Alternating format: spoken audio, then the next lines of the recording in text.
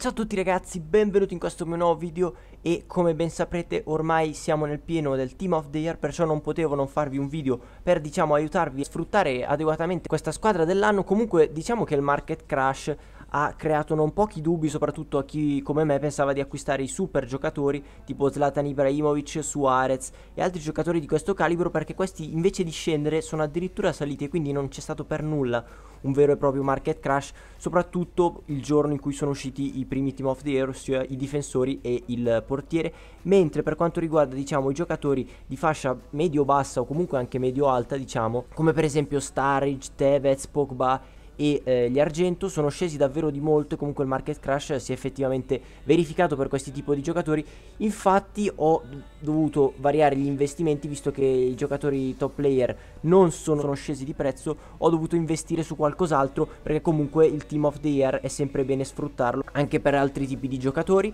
Infatti ho investito su degli argento e su degli if davvero molto interessanti che probabilmente vi presenterò. Comunque vi dico subito alcuni nomi partendo dagli argento. Come ben saprete ragazzi soprattutto se conoscete il campionato della Serie A, i terzini argento sono davvero molto costosi, io mi riferisco sicuramente ad Abate e Armero e sono riuscito ad aggiudicarmeli questi due ottimi giocatori a un prezzo davvero molto buono secondo me visto che comunque quando risaliranno i prezzi potranno essere rivenduti a molto di più e come tutti sappiamo gli argento valgono davvero molto perché sono buggati e molto forti quindi se volete provare a fare un tipo di compravendita su questi giocatori io ve lo consiglio perché costano poco al momento e si potrebbero diciamo acquistare un numero molto elevato di questi e poi farci una specie di price fixing. Altri giocatori che ho acquistato sono degli if, ossia un if che mi è parso davvero incredibile è Felipe Melo in forma, visto che ha delle stats davvero incredibili, sono riuscito a portarmelo a casa più o meno a 20.000 crate, nonostante faccia parte di un campionato come la Turkish League che diciamo non è utilizzatissimo a parte le super squadre con Emenike eccetera. Molto consigliato visto che si potrebbe benissimo mettere in una squadra brasiliana come vi farò vedere molto più avanti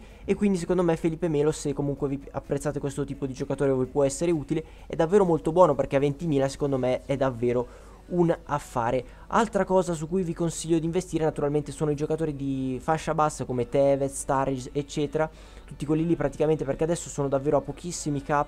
e eh, diciamo comunque ci guadagnate se li comprate adesso e li rivendete successivamente. Mentre per quanto riguarda i giocatori costosi tipo Ibra, Suarez o degli if molto consistenti di prezzo per il momento non vi consiglio di acquistarli. Quando acquistarli in teoria forse con l'uscita degli attaccanti le cose potrebbero sistemarsi ossia i prezzi dei giocatori molto costosi potrebbero finalmente scendere per permetterci di fare comunque i nostri acquisti dei top player e magari riuscire a comprare il giocatore che volevo acquistare lunedì. Quindi ragazzi spero che vi sia stato utile questo mio veloce video delucidativo su come comportarvi durante questi Team of the Year che diciamo ci hanno abbastanza sorpreso soprattutto quelli che volevano acquistare dei giocatori molto costosi. Ma comunque diciamo che il market crash si è eh, effettivamente verificato e ci potete guadagnare ragazzi. Il mio consiglio è sempre comunque di cercare di investire sempre con saggezza. Detto questo ciao a tutti ragazzi al prossimo video